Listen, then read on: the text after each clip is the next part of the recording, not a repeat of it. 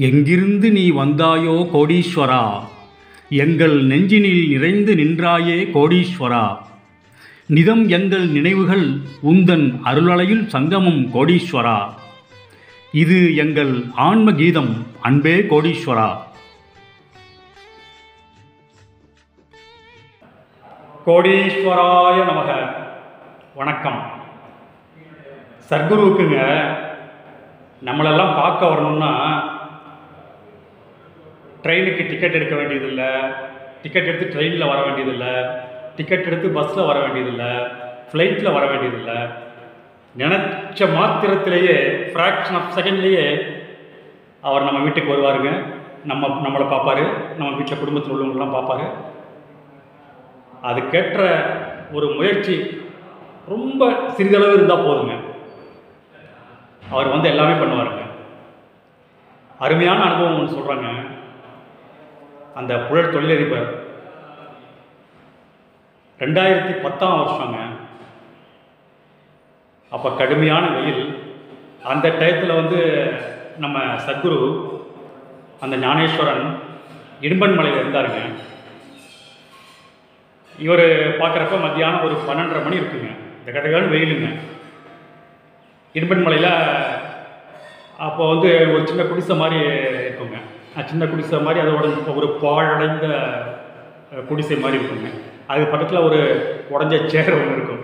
அதில் உட்காந்துருந்தாருங்க இவரை பார்த்தோன்னே வாடா அப்படின்னு ரொம்ப அன்பாக இவரை பார்த்து அன்பாக கூப்பிட்டு ஆனால் கொடுக்குற வேலையெல்லாம் கடுமையாக இருக்கும். அந்த பேச்சில் மட்டும் அன்பு இருக்கும். ஆனால் அந்த கொடுக்குற வேலை வந்து கடுமையாக இருந்தாலும் அது பாசத்தினால் வந்த கடுமை. அது பாசக்கடுமை. அந்த பாசக்கடுமையின் விளைவு ஒரு நேசச் செயல். அதன் விளைவு ஒரு பெரிய பொக்கிஷம். அப்படிதாங்க இருக்கும் அவரோட அனுபவத்தில். வாரான் ரொம்ப அன்பாக கூப்பிட்டாருங்க. எல்லாம் ஒரு பத்து பதினஞ்சு பேர் இருக்காங்க. இவர் வந்து பக்கத்தில் இருந்த ஒரு ஒரு நிறையா கல் குமிஞ்சு கிடந்ததுங்க. அதை எல்லாத்தையும் எடுத்து போடுங்கடா அப்படின்னாரு. என்னுடைய நண்பர் தொழிலதிபர் புழல் தொழிலதிபர் அவர்கிட்டையும் சொன்னார். எல்லாரும் கல்லெல்லாம் எடுத்து ஒவ்வொரு கல்லாக எடுத்து எடுத்து போடுறாங்க போடுறாங்க மணிக்கணக்கில் போட்டாங்க அது கல் அப்படியே ஃபுல்லாகி அது ஒரு மலை மாதிரி வந்துருச்சுங்க. பர்டிகுலராக இவருக்கு மட்டும். இவர் தான் ரொம்ப ஜாஸ்தி வேலைங்க. மற்றவங்களுக்கெல்லாம் கூட ஒரு குறிப்பிட்ட டயத்தில் வந்து அந்த கல் ஒரு குறிப்பிட்ட அளவு வந்த உடனே போங்கடா அப்படின்ட்டாருங்க. ஆனால் இவருக்கு மட்டும் அந்த கல் வந்து ஒரு மலையளவு குமிகிற மாதிரி வரலையும் பேசாமல் இருந்தாருங்க. அதுக்கப்புறம் போதும்னவர் ஏ போதும்டா அப்படின்னு சொன்னவர் அத்தோட விடலைங்க. அந்த கல்லுக்கு அந்த அந்த கல் குமிச்ச அளவுக்கு பக்கத்தில் ஒரு பெரிய பாறை இருந்ததுங்க. ஒரு ஏழு அடி பாறை. அந்த ஏழு அடி பாறையை காமிச்சு டேய் அந்த பாறை மேலே போய் ஏறி உட்கார்றா அப்படின்னோடனே இவருக்கு வேர்த்து உருத்து போச்சு. ஒரு கல் குமிச்சதே ஒரு பதினையாயிரம் கல் இருக்குங்க. அது ஒரு பெரிய மலை மாதிரி குமிஞ்சு போச்சுங்க. என்னடா அது இதே வெயில் இந்த வெயிலில் நம்ம வந்து இப்படி கஷ்டப்பட்டு பார்த்துருக்கோம். ஒரு அந்த ஏழடி அந்த பாறை மேலே வர ஏறி உட்கார சொல்கிறாரு அப்படின்ட்டு இவர் கொஞ்சம் இதாக நெகட்டிவாக நினச்சாலும் கூட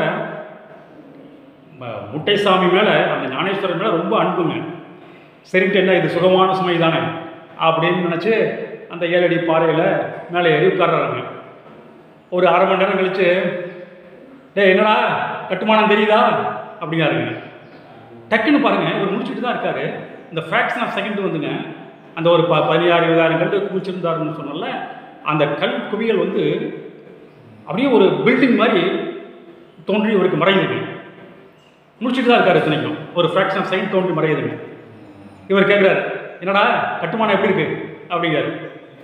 சரின்ட்டு அவர் அந்த காட்சி தோன்றோடனே சரின்ட்டு என்னமோ நினச்சிட்டு இவருக்கு இன்னும் ரிப்ளை பண்ணலங்க. இவருக்கு ஏன்னா இவருக்கு அதை எதை நினச்சி அவர் ஞானேஸ்வரன் கேட்குறாருங்கிறது இவருக்கு தெரியல. அதனால் இவர் ஒன்றும் ரிப்ளை பண்ணல. ஒரு ஸ்மைல் பண்ணாருங்க. ஸ்மைல் பண்ணோன்னே சரி இறங்கி வாடா அப்படின்ட்டாருங்க. அப்புறம் இறங்கி வந்தோடனே உத்தரவு கொடுத்துட்டார். அங்கே கூட்டியிருந்த ஒரு பதினஞ்சு பேருக்கும் உத்தரவு கொடுத்து ஆ போங்கடா போங்கடா. வீட்டை பார்க்க போங்கடா. குழப்ப பார்க்க போங்கடா. அப்படின்ட்டாருங்க. எங்கள் நண்பரும் போயிட்டாருங்க.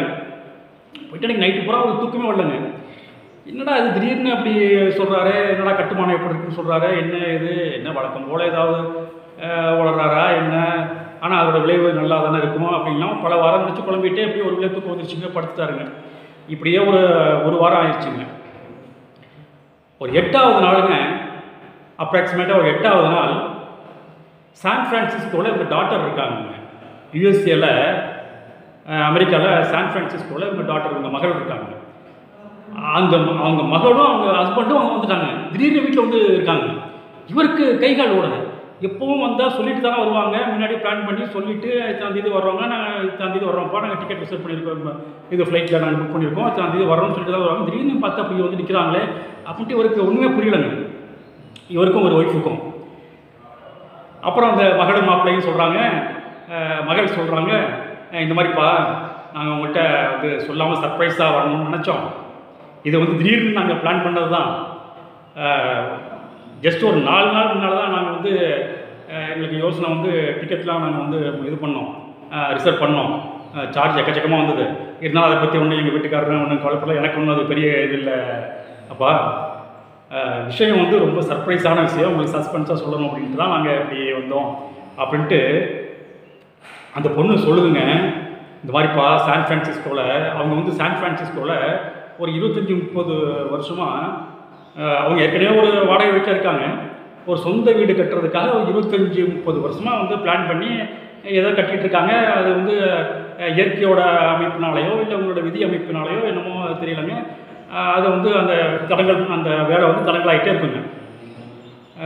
ரெண்டு மூணு ட்ரிப்பு அந்த இடிஞ்சே கூட விழுந்துருங்க. அந்த கட்டுமானம் வந்து கொஞ்சம் கொஞ்ச தூரம் கட்டுறப்பே வந்து ஏதாவது ஒரு அசம்பாவிதம். ஒரு தூண் இடிஞ்சு விழுந்துரும். இல்லைன்னா தூண் பக்கத்தில் உள்ள ஏதாவது ஒரு கட்டுமானம் இடிஞ்சு விழுந்துரும் இப்படியே இருக்கிறதுனால அவங்க வந்து ஃபர்தராக பண்ணாமல் இது ஏதோ என்னமோ செய்வினையோ என்னமோ தெரியல. அப்படின்ட்டு அவங்க பண்ணாமையே வச்சுருந்தாங்க. இப்படி இருபத்தி முப்பது வருஷம் ஓடி போச்சுங்க. இவங்க இவங்க அப்பாவுக்கும் தெரியாது. இந்த பொண்ணு வந்து அப்பாட்ட இதெல்லாம் சொல்லி அப்புறம் என்ன நடந்ததுன்னு தெரியலப்பா. திடீர்னு பார்த்தா யார் யாரோ வந்து எங்கள் எங்கள் ரிலேட்டிவ் எங்கள் ஃப்ரெண்டு எங்கள் ஹஸ்பண்டோட ஃப்ரெண்டெல்லாம் வந்து பணம் கொடுக்குறாங்க. அவங்க உதவி பண்ணுறாங்க நீங்கள் ஏன் இத்தனை வருஷமாக விட்டு வச்சுருக்கீங்க? கட்டுமானத்தை கட்டுங்க பில்டிங் நல்ல பில்டிங்காக கட்டுங்க நீங்கள் குடி வாங்க அப்படின்னு சொல்லி அவங்களே பணம் கொடுக்குறாங்க. தடங்கள் எல்லாம் தானாக சரியாகிட்டே இருக்குது சரியாகி போயிடுச்சு ஒரு பத்து நாளில் பாருங்கப்பா நாங்கள் வந்து அந்த பில்டிங்கை வந்து கட்டி முடித்து எல்லாம் பண்ணி ஃபினிஷ் பண்ணிட்டோம் அப்படின்ட்டு அந்த பில்டிங் ஃபோட்டோலாம் காமிக்கிறாங்க. இவருக்கு அப்போ தாங்க ஒரு மனசில் படுதுங்க. ஆகா அன்னைக்கு நம்ம நம்மளை வந்து வேகாத வெயிலில் கல்லெல்லாம் பிறக்க வச்சு ஒரு பதினாயிரம் கல் அடுக்கி வச்சு பக்கத்தில் ஒரு ஏழடி பாறையை காமிச்சு அந்த வேகாத வெயிலில் உட்கார வச்சு திடீர்னு நமக்கு ஒரு காட்சியை கொடுத்தாரு பாருங்க சத்குரு. கட்டுமானம் எப்படா இருக்குன்னு கேட்டார்ல? அப்போ நமக்கு ஃப்ராக்ஷன் ஆஃப் செகண்ட் வந்து ஒரு பில்டிங் உருவான அப்படியே ஒரு இந்த காட்சியில் வந்து போனதில்ல அது அப்படியே ஷாக் அதே பில்டிங் தான் அப்படின்ட்டு இவருக்கு தெரிஞ்சதுங்க. இவர் உடனே இந்த பொண்ணுகிட்டையும் மாப்பிள்ளைட்டையும் சொல்கிறாரு இதே பில்டிங் தாங்க எனக்கு வந்து நம்ம ஞானேஸ்வரன் ஐயா காமிச்சாங்க அப்படின்னு சொல்லி நடந்த கதையை சொல்கிறாருங்க இந்த மாதிரி நான் போனேன். அதாவது வெயிலில் வந்து என்னை வந்து வேலை வாங்கி பதினையாயிரம் இருபதாயிரம் கல் அடுக்க அடுக்க வச்சு பக்கத்தில் ஒரு பெரிய பாறையை மேலே உட்கார வச்சு இந்த வெயிலில் உட்கார வச்சு இந்த மாதிரி காட்சி கொடுத்தாங்க. அப்படின்னு எல்லாம் சொன்ன அவங்க குடும்பமே அப்படியே அவங்க குடும்பம் அடைந்த ஆனந்தத்திற்கு அளவே இல்லைங்க. உடனே மறுநாள் காலம்படியே போய் சத்குருவை பார்த்து அவர் காலில் வந்து சாஸ்டாங்க அவருக்கு போன உடனே அவர் வந்து தெரியாதா? சத்குருக்கு தெரியாதா? என்னடா? எல்லாம் ஆயிடுச்சா அப்படின்னு கேட்குறாருங்க எல்லாரும் நமஸ்காரம் பண்ணி சாமி நீங்கள் நினச்சா ஆகாத விஷயமா? அப்படின்ட்டு சொல்லி எல்லாரும் ரொம்ப ஆனந்தப்பட்டாங்க சத்குரு சந்நிதியில் அப்புறம் கொஞ்ச நேரம் இருந்துட்டு சத்குருட்ட உத்தரவு வாங்கிட்டு அப்புறம் மகிழ்ச்சிகரமாக வீடு வந்தாங்க.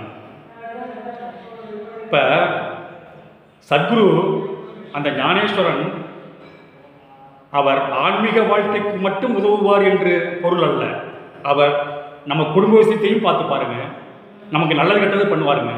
ஏன்னா அவர் வந்து அவருக்கு அரிசி விலை என்னன்னு தெரியும் பருப்பு விலை என்னன்னு தெரியும் மளிகை ஜமா விலை என்னன்னு தெரியும் நாட்டு நடப்பு என்னன்னு தெரியும் மக்கள் படுற கஷ்டம் தெரியும். அவர் நம்ம குடும்பத்துக்கும் உதவுவாருங்க. சொல்லப்போனால் மளிகை ஜாமான் வாங்கி தர்றதுலேருந்து மாளிகை கட்டுறவர்களையும் உதவுவாருங்க. அத்தோட ஆன்மீகத்துக்கு இன்னும் ஜாஸ்தியாக உதவுவாருங்க. அந்த நம்பிக்கை என்ற கயிறை கெட்டியாக பிடித்துக்கொண்டு நாம் அந்த உயரமான வாழ்க்கை என்ற கிணற்றிலே மூட்டை பகவானின் உதவியால் நிச்சயமாக ஏறி அந்த கிணற்றின் வாழ்க்கை என்ற கிணற்றின் உச்சியை அடைந்து வெற்றிகளை சாதிக்க முடியும். நம்புங்கள். மீண்டும் சந்திப்போம். ஆத்ம நன்றி.